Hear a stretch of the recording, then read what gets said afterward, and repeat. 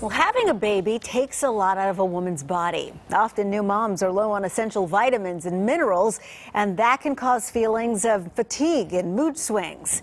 Well, then there's the pressure to get back to that pre-baby body. The Fox Medical Team's Beth Galvin has a look at the best foods for new moms and when it's safe to start working out again.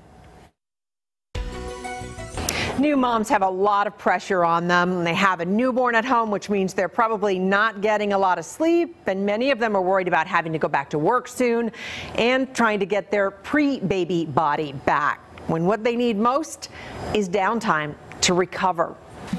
If you've just had a baby, Dr. Taz Bhatia of CentreSpring MD says your body has earned the right to take a break. Pregnancy is a really tough physical time for women. Since babies in the womb draw their nutrition entirely from their mother's body, that can leave a new mom depleted of important vitamins and minerals that her body needs to recover. What we have found in our practice is that women after pregnancy are often, again, low in B vitamins, low in amino acids, which are, again, the building block for their energy, their brain, all of that other good stuff.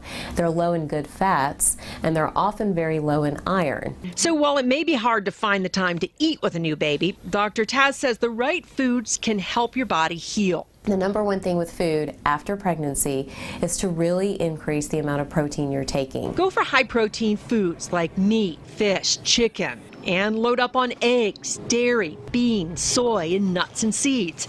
And since many new moms also have a hormonal imbalance, healthy fats like coconut oil and omega 3 fatty acids found in cold water fish like salmon can help. Fat is the building block of all the different hormones. So if you're trying to get a woman back in hormonal shape, she needs some fat. Most experts say it's safe for a woman to start exercising about four to six weeks after she gives birth. And Dr. Taz says she knows women face enormous pressure to get back to their pre-baby bodies. I would urge women to slow it down because you can fight your body and fight your hormones and your chemistry and force it to lose X amount of weight in a certain amount of time, but you will usually crash anytime you're asking the body to do more than what it's ready to do.